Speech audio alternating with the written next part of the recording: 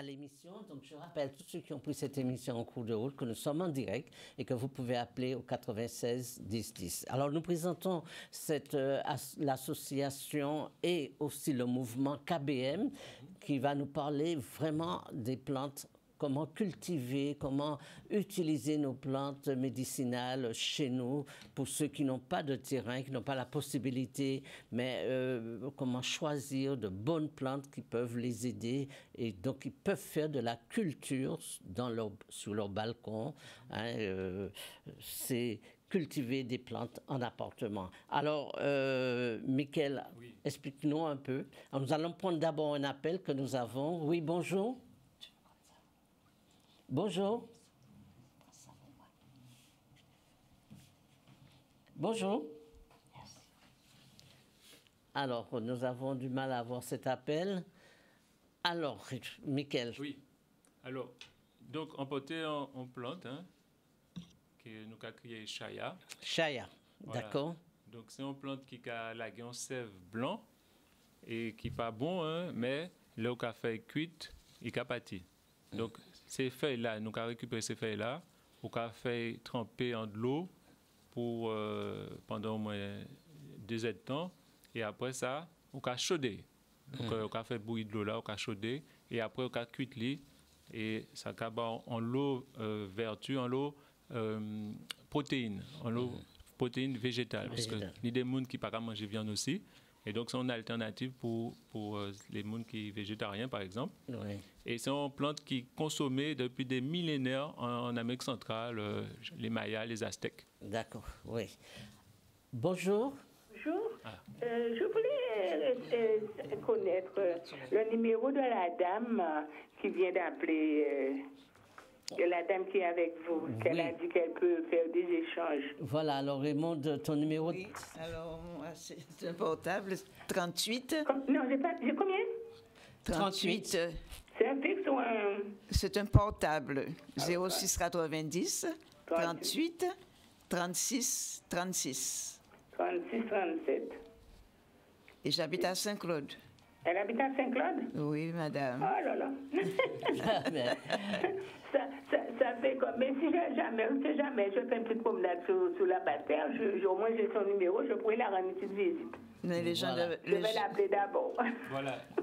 en tout cas, il dit que KBM, c'est un ensemble de, de monde magnifiques. Hein, C'est-à-dire que dans KBM, il y a des pépiniéristes, des gens qui vendent plantes. Hein. Moi aussi, on a proposé des plantes euh, médicinales, des plantes euh, des fruitiers. Mhm. Et donc, euh, c'est-à-dire que nous avons organisé nos réseaux et donc nous avons participé à des marchés aussi. Et donc, forcément, nous sommes en contact avec les, gens qui en Monève, qui a proposé des produits locaux, des produits de qualité et d'excellence. Donc, euh, euh, Raymond, tu, rappelles le numéro? Mon numéro à moi? Le numéro pour vous toucher euh, l'association Non, justement, j'allais donner le numéro de l'association. Oui. C'est le 06 90 oui. 68 68 89 89 43 43. Donc voilà. Alors, vous êtes toujours là avec nous Alors 06 90 68 89 43. Oui, mais voilà. Alors ceux qui veulent un peu s'initier aux plantes médicinales, apprendre comment planter, cultiver, et puis comment le faire aussi en appartement, eh bien ils peuvent t'appeler à ce numéro-là. Ils peuvent, oui, et ils peuvent se joindre à nous le, samedi matin. Voilà. D'accord. Hein? Ok, ben, c'est une bonne, une bonne chose. Hein? Alors, Michael, oui. parle-nous un petit peu de comment faire pour euh, préparer euh, dans un pot déjà ce qu'il faut pour pouvoir planter un appartement. Voilà, donc, voilà, donc là, c'est on, on pote avec un, coupelle pour garder de l'eau là. C'est important que ni toujours de l'eau dans, dans, ça parce que sinon, plante là peut boire. Hmm. Donc, l'idée là, c'est de reconstituer le sol à dans pot là. Ouais.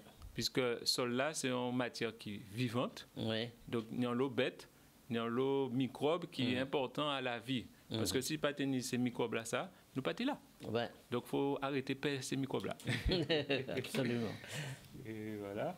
Donc, un gars montré, donc, un gars prend, c'est comme nous peut voir, donc on prend ça pour Très nous- bien. nous voir les Ouais. différentes euh, étapes Étape. pour remplir pot là. Ouais. Voilà. Donc, pour commencer, donc en cas conseillé pour gravier, voilà. Donc, ce que nous allons mettre en fond à pot là, Mhm. pour qui bitin, c'est pour empêcher tel là boucher ces trous là. Ouais.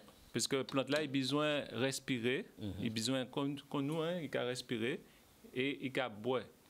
Et si par, nous allons mettre un quitté, ça qui boucher ces trous là, Ouais. et de l'eau là peut passer, de l'eau là peut drainer. Ok. Voilà. Donc c'est pour ça qu'on conseille d'abord de mettre du gravier pour empêcher que tel là bouché. Ensuite, nous allons mettre thé, donc euh, thé qui pas chlordéconné de préférence. Eh ben oui.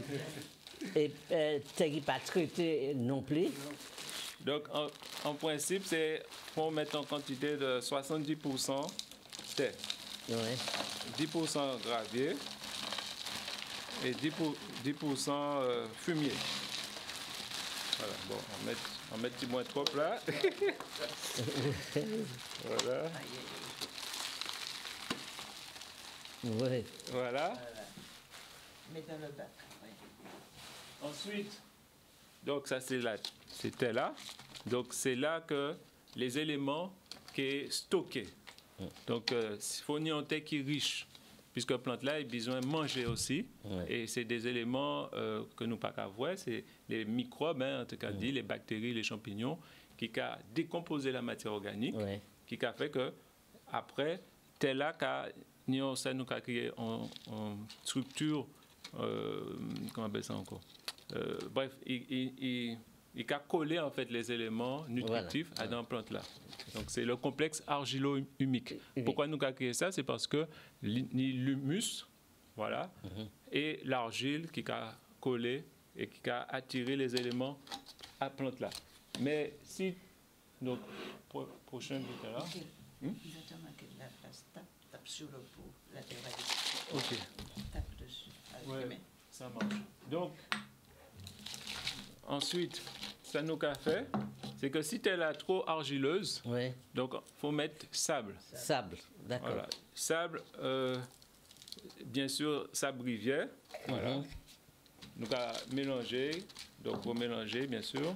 Et très important, du compost. Donc, Compost. du lombricompost ou du compost. C'est-à-dire que c'est important que, euh, même si, ou en appartement, même si, euh, enfin, c'est important de tenir un composteur Ouais. pour qu'il bien, parce que ça va réduire les déchets, tout simplement, Voilà. et ça va permettre de ni euh, on, on manger pour ces plantes-là. Alors, pour faire compost là, c'est facile à faire, quoi. Eh ben, C'est- nous- les restes de repas. ouais, mais pas, pas tout, tout, tout. Ou pas mettre tout vite. hein. de repas. Pas, Pas de repas cuit. voilà, pas de repas cuit. Voilà. Donc ça c'est du compost. Donc ça, ça quand enrichir tel là pour que plante là ni manger au moins pour au moins six mois. Alors, si nous faisons salade ou, par exemple, ou éplucher un concombre, Oui, euh, la, peau, les voilà, les épluchures, tout ça. Alors, il faut y ait un appareil pour en un poudre comme ça. Alors euh, non, pas tout à fait. Ça va dépendre de quand on mettre dans le compost là. Ah ouais. Parce qu'il ne faut pas mettre des éléments durs comme Ouais. graines, comme Il faut noyaux. découper. ça. Voilà. Ouais. Et, et pour à, à- comment dire, pour à, à oranges par exemple, ça va prendre temps à décomposer. Ouais. Donc c'est vrai, il faut mettre, des- faut mettre des éléments fins. Et puis, ni aussi les composts à lombric, c'est des composts de vers de terre Ouais. qui a manger aussi. Et donc, il faut mettre des éléments verts et des éléments secs. OK. Voilà. Donc, mais il faut surtout pas mettre euh, l'huile ou bien euh, Ouais, poisson. ouais, ouais, faut pas mettre euh, Ni viande, viande, Voilà. là, ça. Faut pas mettre plastique. Voilà. C'est c'est vraiment des éléments naturels que nous apprenons. Euh, voilà. c'est- Donc ça c'est le compost qui est très très très important pour enrichir euh, Ouais. puisque euh, comme pas les animaux, parce que c'est ces animaux-là qui a Ouais. fait qu'ils ont apporté les éléments nutritifs. Ensuite, euh, emporter, Voilà, les en sachet, là. emporter ça, Oui. ça c'est de la perlite. La perlite. Alors, c'est quoi la perlite? La perlite, c'est une roche volcanique que ont chauffée et que ont crasée, Oui. voilà, que nous avons trouvé facilement en magasin. Ah, donc, il faut qu'acheter ça, hein?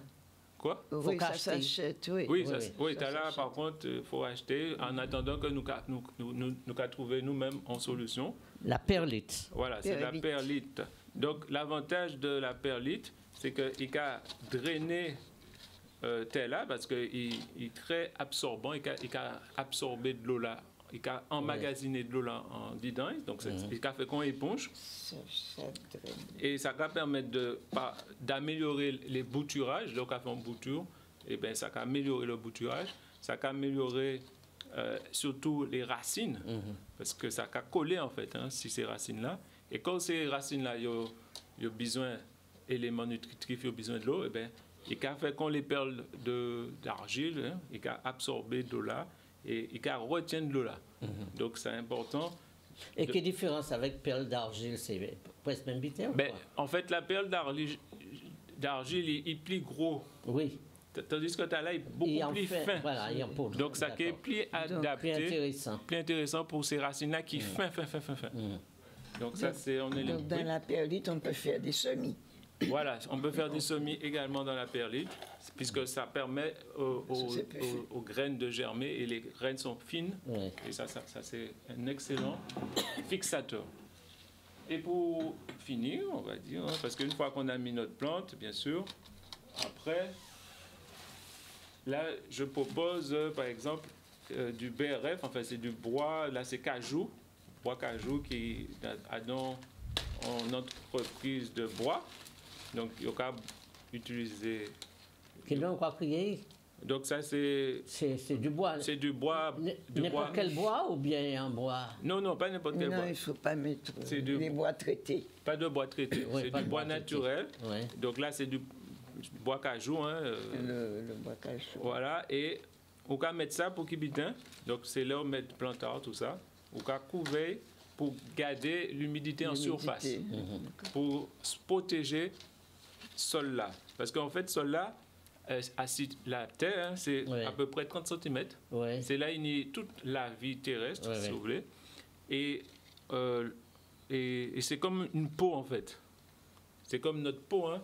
Si on coupe ces poils-là, euh, au panier en protection. Ben là, c'est en, en protection pour protection de la ce sol-là, Mm. pour que ces bêtes-là, ces vers de terre-là, ces bêtes-là, montent et descendent pour enrichir et faire vieillot, quoi. Voilà. Bon, alors, pour- alors, on va faire un petit résumé pour que ça ne soit pas trop compliqué pour tout le monde. Alors, si vous voulez faire un petit peu de culture, alors même si on n'a pas de balcon, moi j'ai dit balcon parce que le, le balcon, ça, ça fait une petite surface. Oui. Mais même si on n'a pas de balcon, on peut faire ça dans un coin d'appartement aussi. Donc, on met dans un pot comme ça. On peut mettre dans un pot directement comme ça. On n'est pas obligé d'acheter des pots. On peut Oui, les, bouteilles d'eau comme, comme tu as fait là. On, Tu- prend, on ou- prend un pot comme ça et on prépare la terre. Oui. Voilà. Et donc, donc on, on va mettre un peu gravier au fond, Oui. un peu de terre au fond, du compost si on en a, et puis sur le haut, eh ben, on va saupoudrer un Donc, petit peu tout ça. ça peut être... euh, là, Du terreau, du terreau aussi, non? Ouais, du- ou bien du terreau, mais Du pour, terreau. pour la surface, protéger là, ça peut être euh, des plantes, hein, plantes euh, coupées, hein, z- zèbres coupées. C'est coupé, euh, voilà, séché comme ça, des feuilles, dessus, des voilà. feuilles, n'importe. Il y a Voilà. la bagasse qui est très efficace. Bagasse. La bagasse, Voilà. oui. Bien décomposée par la bagasse. Voilà. Donc ça qui est important, Et ça- après, on plante. Voilà. oui, oui, voilà, on, on plante et on peut faire des semis, mais on, on peut faire aussi en jardinière, hein, Ouais. dans, dans un plus gros bac.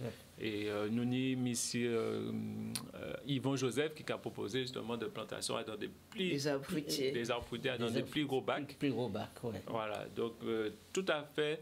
Donc ça va montrer que c'est possible et, que, et- et que ça va justement permettre de. Si moi, par exemple, on est piment et vous, on est tomate, eh ben, nous pouvons faire échange à piment et tomate. tomates. Donc on peut planter des petites tomates chez soi comme ça, piment chez soi comme cela, et puis aussi quel- quelques autres plantes. Oui. On peut tout planter quoi. Donc, On peut on- tout- on t'est- on peut tout parce que- planter. oui, voilà. Nous avons dit à KBM, nous, enfin, nous avons dit que nous pouvons planter en bas case, c'est-à-dire euh, même en, en bas, c'est-à-dire on est en, en immeuble, mais en Oui. bas, ni, ni des côtés ni des terres. oui, une terre, Donc, nous ouais. pouvons planter aussi en bas. Voilà. En, Voilà. en et en bocase. Au Bocas, voilà, Voilà. ça c'est super, oui, ça c'est une bonne idée. Alors vous, Alors- est-ce qu'on fait des animations individuelles? C'est-à-dire, si moi, ai besoin de faire ça, euh, côté moi, est-ce qu'on a venir, est-ce qu'on a aider moi? Comment ça se passe? Eh ben nous, nous, comme tu as dit tout à l'heure, c'est que nous connecter, bon, on va pas regarder la caméra là, c'est là. Non, non, vas-y. Et en fait, euh, nous, euh, nous connecter avec les associations. Donc, il faut joindre une association de préférence qui connecte à KBM. Mais, mais nous, KBM, nous un site internet, nous un Facebook. Ouais. Donc, euh, c'est euh, KBM Guadeloupe hein, sur Facebook.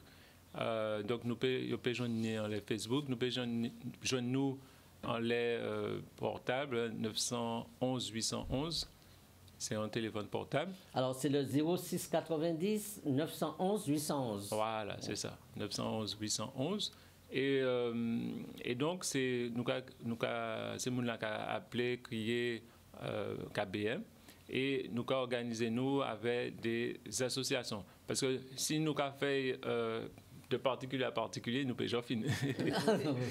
Donc, c'est vraiment en- ensemble, nous avons organisé, par exemple, là, le 12 octobre aussi, hein, même date Oui. là, Oui. nous, par exemple, on y en en diri bocage, c'est-à-dire euh, qui gens nous, nous, nous peut planter du riz, euh, nous Jacques à planter, nous Jacques à récolter, et nous à commencer à manger du riz. Ah, Oui, oui, oui. Et, euh, euh, et en fait, à Bois-Lançon, donc c'est du côté de Goubert. Donc, euh, nous, nous gagnons le 12 octobre en atelier d'Iri pour les mouns qui, qui a été euh, tout près, quoi. Il ben, faut que nous fassions une émission là, ça pour avant manifestation, pour que le monde puisse être sensibilisé en les journées là. Oui, mais nous, Ouais. nous, nous avons fait du ribocage de, depuis plusieurs années maintenant.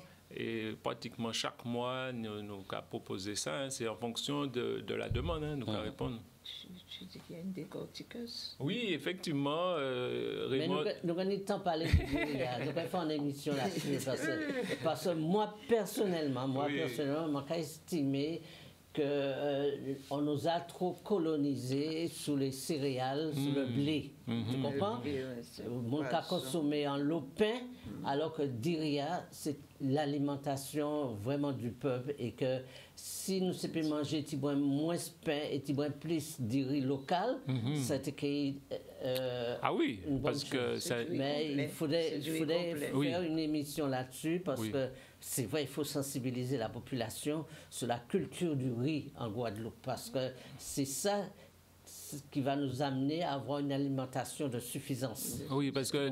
Oui. C'est pas être dépendant total du blé, des céréales, parce que tu vois, je fais des animations dans les écoles souvent, et dans les associations, et le petit déjeuner, c'est toujours pain, pain, Fromage. pain, fromage et C'est ça l'alimentation des enfants pour l'école. Alors que nous avons d'autres possibilités de manger chez nous, local chez nous. Peut-être que vous autres pouvez aider moi en venant euh, présenter tous ces autres cafés. Oui. Oui. Je peux ajouter quelque chose, Michael. Alors, quand on fait la culture en pot ainsi, il faut arroser Oui. Oui, régulièrement. il ne faut pas oublier parce que faut l'évaporation est plus rapide en pot qu'en pleine terre. Oui, Et euh, la production aussi est plus rapide. La plante pousse davantage, plus vite. en pot qu'en en terre. pot et la production est précoce. Précoce. précoce. Ouais, ouais. Ben, on a beaucoup de choses à dire. Ah, Je ne sais pas combien de temps qu'il nous reste. On a beaucoup de choses à dire euh, Et- euh, sur cela, mais ce qu'il faudrait rappeler, rappeler que euh, et ce que je conseille à tout le monde, c'est de s'initier aux plantes médicinales. Ah oui, Alors, s'initier aux plantes médicinales, si chacun pouvait avoir une petite plante médicinale Oui, chez eux, par exemple, il y a des plantes pour- contre les moustiques, Et il y a des plantes qui, sont, qui ont une énergie positive. Quand ils sont dans la maison, ils vont mettre, euh, je vais dire, euh, un environnement positif dans la maison, Oui. hein, au lieu d'acheter toujours des trucs à bombe, des, des trucs, euh, des, des Ah tas de- oui. Des les- tas de trucs qui vont qui vont, qui vont au contraire euh, euh, polluer notre santé et donc avoir, pouvoir mettre une petite plante correcte chez nous savoir le faire, un plant de romarin, ça peut se mettre dans, dans un salon, ça peut décorer très bien un salon et ça peut apporter de l'énergie positive parce que la plante respire aussi. la plante respire et, et transmet aussi. Et transmet aussi. Et souvent, il y a des plantes qui équilibrent.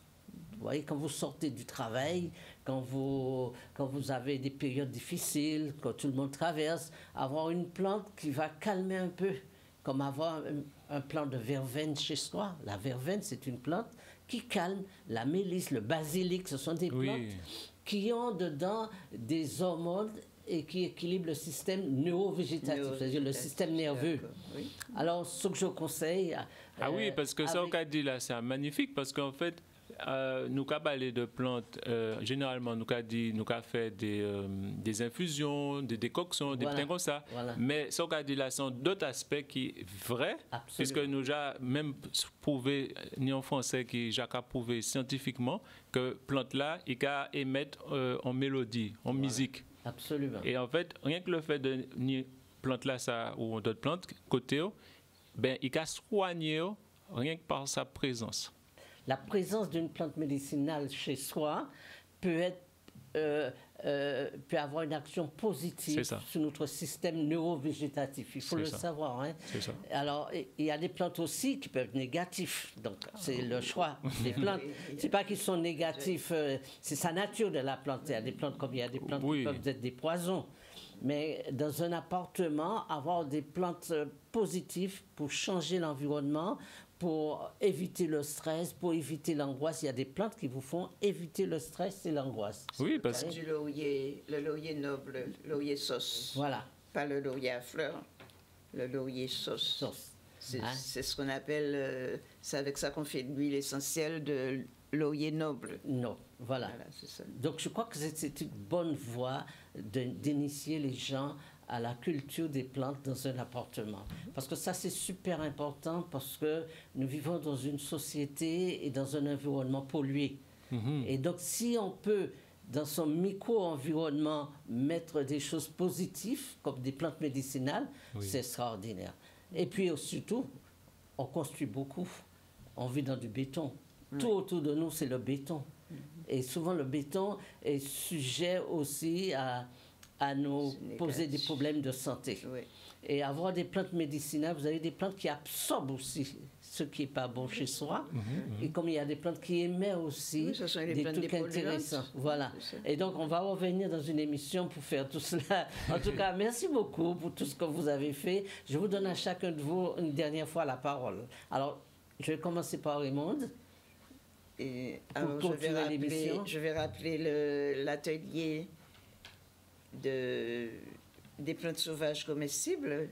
Voilà. Le 12 octobre, tu fais un atelier sur les plantes comestibles, les plantes sauvages. Les sauvages, plantes sauvages comestibles. Voilà.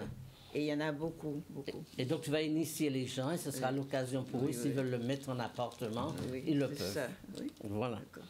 Alors, ton téléphone, je le rappelle, c'est le 06 90 68 89 43. Non, moi, personnellement. Pour les gens qui veulent appeler pour venir le, 12 octobre. Et le 38 36 deux fois. Et le 38 36 deux fois. Voilà. Et puis, oui. Michael.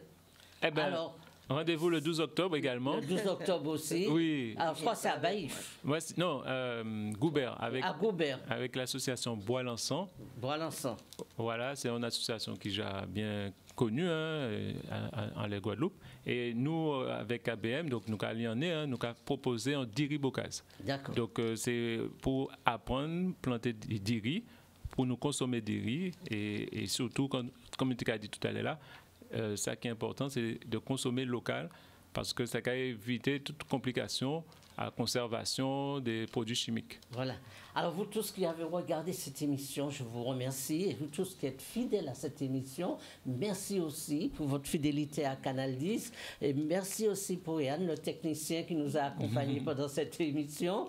Et puis je voudrais vous donner rendez-vous à samedi prochain. Mais surtout, surtout, gardez euh, le souvenir et le contact que vous, je vous le conseille, de cultiver vos plantes médicinales chez vous dans votre appartement. Choisissez les bonnes plantes qui vont vous apporter de bonnes énergies, qui vont améliorer l'environnement de votre appartement. Et pour cela, n'oubliez pas que vous avez le KBM, cette association euh, 0690 91 811 que vous pouvez prendre contact avec Mickaël. 911 811. 911 811 avec Mickaël.